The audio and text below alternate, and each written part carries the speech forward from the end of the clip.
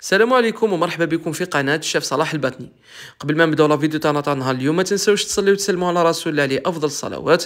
اليوم إن شاء الله راح نشارك معكم هاد الساندويتشات سهلين في التحضير بعجينة خفيفة ويجيو منفوخين وفرغانين من الداخل وبحشوة اقتصادية وبزاف لذيذة. وأنتم لكم الاختيار في التغيير تاع الحشوة تحبوا تغيروا الحشوة هذا يرجع لكم يعني كل واحد ومقدوره تابعوا الفيديو من الأول للأخير مشاهدة ممتعة للجميع. نبداو على بركة الله مع طريقة تحضير العجين. أول حاجة عندي ثلاث كيسان نتاع فرينه أي ما يعادل 400 غرام. أنا كيلت بهذا الكاس اللي رفد 220 ملل ثلاث كيسان يكونوا مملوئين جيدا.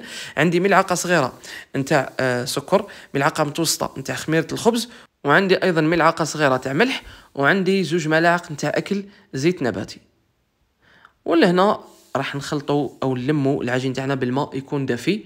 نضيفوا بالتدريج. أنا صراحة دات لي كاس وربع نتاع الماء. نضيفوا بشوي بشوي حتى تحصلوا على عجينة تكون طرية. نوعا ما في البداية تماسك في الإيد بهذا الشكل. من بعد لهنا نحطها في بلون دو طرافاي ونحاول ندكها حوالي ثلاث دقائق حتى ربع دقائق يتليس لنا العجين.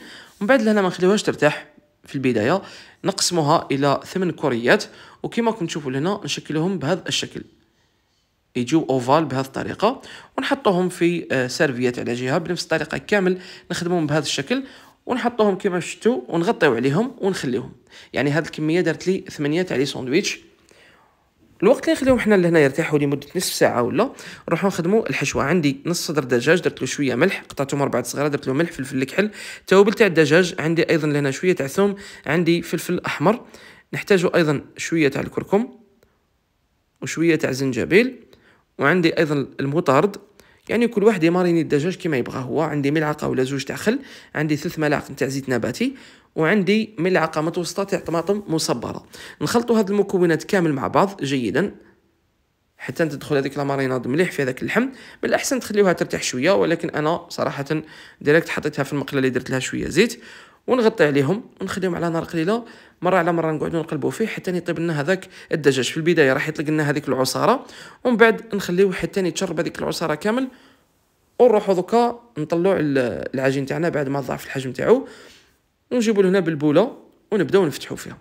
لهنا لازم تفهموا آه، العجين تاعكم تفتحوه رقيق ماشي حتى يبان ال plan de travail المهم تفتحوه يكون رقيق ما تخليوش خشين. باش يتنفخ لكم في في الطاجين.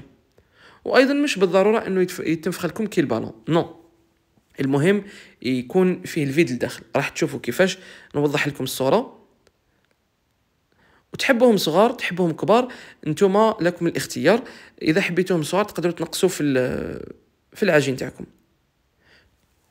بطبيعة الحال عندنا crêpière ولا مقلة ولا طاجين آه، كما كنتم فيه. نسخنوه ونحطوا لهنا les sandwichs تاعنا أو الخبيزات تاعنا. juste نحطهم على الوجه الأول كي نشوفهم بداو يطيبوا direct نقلبوهم للوجه الثاني.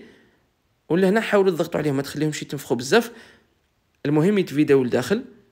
ونقعدوا نقلبوا فيهم للوجهين أو على الوجهين عفوا. بهذا الشكل حتى يحمروا أو ياخذوا لون محمر ما تحمروهمش بزاف باش ما يبسلكمش باش من بعد تقدروا تفتحوهم بكل سهولة. لهنا الدجاج تاعنا راهو طايب واش نحتاجو؟ عندي سلطه وطماطم. عندي أيضا زيتون أخضر مقطع عندي فريت وعندي آه، فرماج. أنا نستعمل آه، باتنا cheese هذا تاع العلبة الحمراء. ولهنا les sandwichs تاعنا كما كنتم تشوفوا قسمتهم وشوفوا كيفاش يجيو vide لداخل. يعني كل ساندويتش تقسموه إلى قسمين. شوفوا كيفاش يجيو vide لداخل وراح نحشيوهم. اذا هذه هي دوكا نفتحوا لهنا الساندويتش نجيبوا الفرماج كأول حاجة نديروها. نيطاليو مليح هذاك الفرماج في الساندويتش. ومن بعد نديرو السلطة. نحطو السلطة ونزيدو نحطو شوية تاع طماطم. نحطو les frites نحطو الدجاج. حاولوا تعدلوا بالملعقة أنا كنت نخدم بيدي.